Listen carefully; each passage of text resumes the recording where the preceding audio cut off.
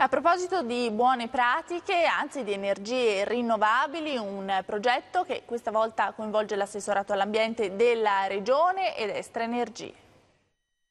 Riparte per il quinto anno consecutivo energicamente a scuola di energie rinnovabili, il progetto educativo sul risparmio energetico e le energie pulite rivolto alle scuole, promosso da Estra in collaborazione con Lega Ambiente e giunti progetti educativi. La partecipazione energicamente è completamente gratuita, e coinvolge oltre 6.000 ragazzi delle classi quinte delle scuole primarie e classi prima, seconda e terza delle scuole secondarie dell'Italia centrale, Toscana, Marche, Abruzzo, oltre alle loro rispettive famiglie. Si tratta di 250 percorsi didattici, 18 laboratori teatrali dal titolo Energia del teatro, svolti nelle classi con l'obiettivo di approfondire insieme ai ragazzi i temi dell'energia in modo divertente e coinvolgente.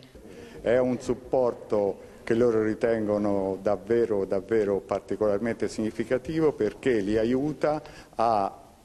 innescare l'esperienza del mondo del lavoro, l'esperienza del mondo ambientalista nell'attività scolastica, dando un supporto anche dal punto di vista didattico e portando tematiche importanti come quelle ambientali, come quelle del risparmio energetico, eh, in un modo anche eh, adatto all'età che questi nostri uomini del futuro hanno. Credo che sia un percorso virtuoso che sono felice sia prima di tutto voluto e sostenuto da attori fondamentali quali appunto un grande gestore come Estra, Lega Ambiente, giunti per i progetti educativi eh, e eh, vedo che di anno in anno sono iniziative che crescono anche nell'interesse e nell'offerta didattica per cui la Regione Toscana non può che essere felice di esserci.